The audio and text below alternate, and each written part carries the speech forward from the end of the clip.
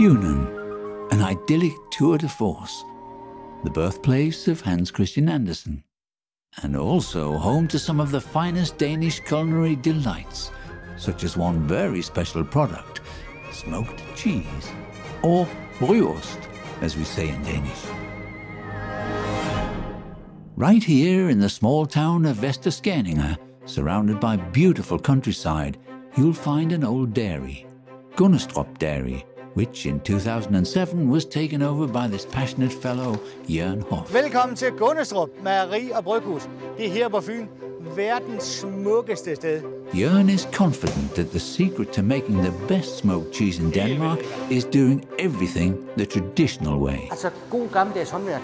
where every cheese is made individually by hand. And this is one of smoked cheese's key ingredients smoke. Smoking the soft cheese only takes a few seconds. Voila! A magnificent flavour, either simply on its own or as a perfect combination with other local ingredients. Just ask Michael from restaurant Aro in Odense. At Restaurant Aro, they strive to be using only the freshest local ingredients. Mmm, look at that. Oh, and lastly, back to Jørn. Stout.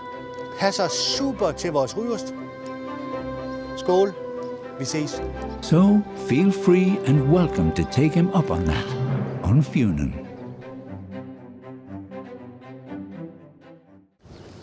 Det er smukt.